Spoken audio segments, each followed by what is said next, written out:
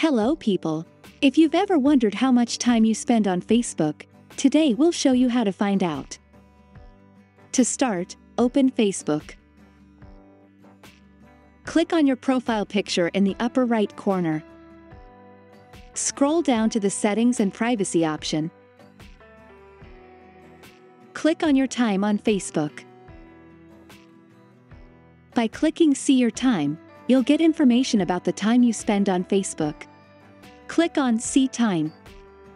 As you can see, there is information about the time spent per day of the week.